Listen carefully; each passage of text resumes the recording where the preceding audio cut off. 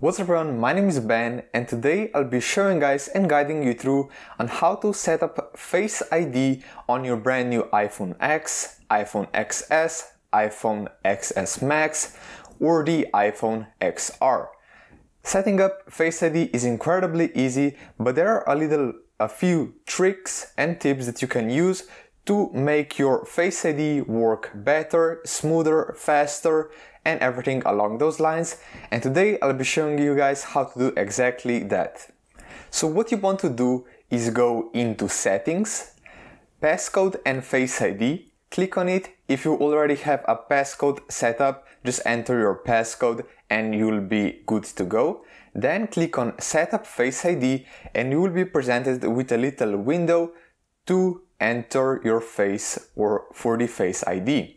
What you want to do is get into some very good light. What I'd recommend you uh, to do is get in front of a window and just make sure that the uh, window is behind the phone and in front, in front of you so that you're uh, well lit.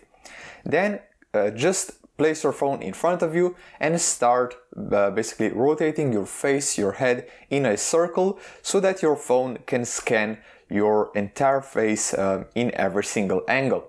After you successfully enter your face for the Face ID, you will be asked to do the same once again. So basically repeat the process, get in front of some good light, just stay in the same spot and just do the exact same thing. Rotate your entire face or head in a circle so that your phone can successfully enter your face for the Face ID. If there is someone else that you want to unlock your phone.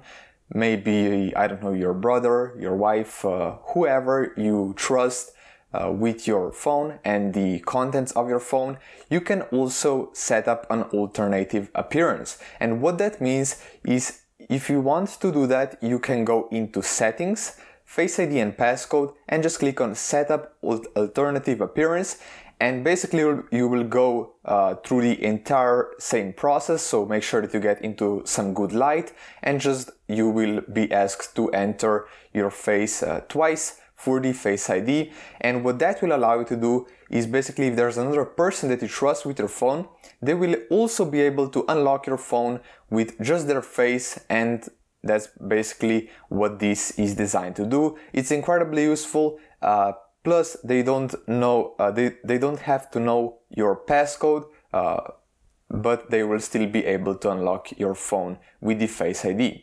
So this was a quick guide on how to set up Face ID on the iPhone 10, 10s, 10R, 10s Max and all the future iPhones that have Face ID. I really hope this video helped you out. If it did, definitely consider dropping this video a like.